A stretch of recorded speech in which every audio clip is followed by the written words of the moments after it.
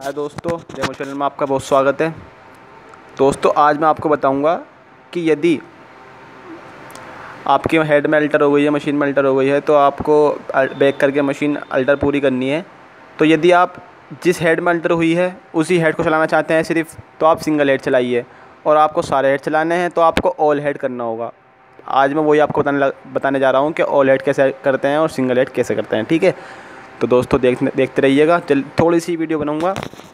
ज़्यादा बड़ी वीडियो नहीं होगी जल्दी समझ में समझ में आ जाएगा इन तो, यह है फेस मोनीटर का कुछ इस तरह।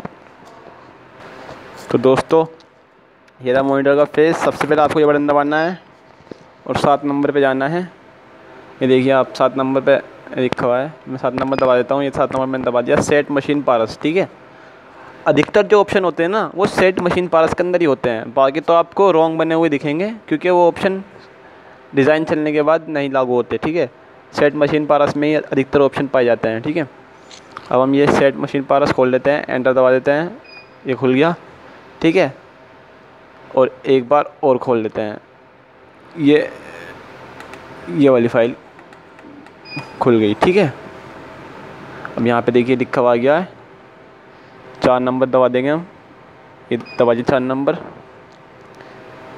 चार नंबर सॉरी पाँच नंबर। ये पाँच नंबर हमने दबा दिया। सेट ऑल हेड ये लिखा हुआ, मेरी उंगली के जस्ट ऊपर देखिए। सेट ऑल हेड्स पंच ठीक है?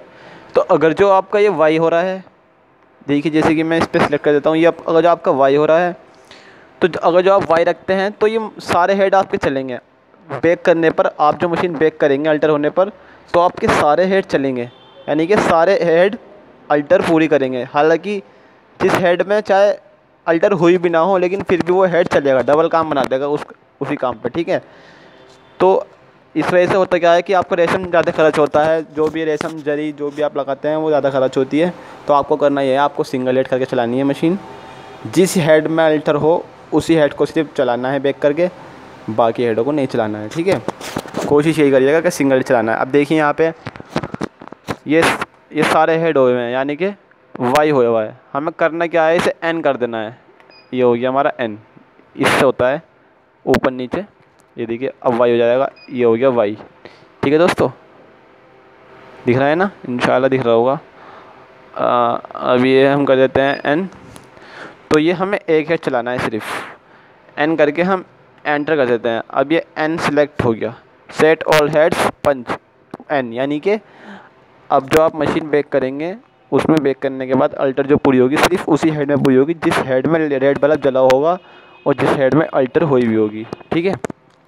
बाकी हेड अपनी स्थिति पे ऐसी रहेंगे, वो नहीं चलेंगे, ठीक है? तो आज का समझाना यही था कि ऑल हेड कैसे करते हैं। इन जल्दी मिलते हैं नेक्स्ट वीडियो में, तब तक के लिए गुड बाय एंड अल्लाह हाफिज़।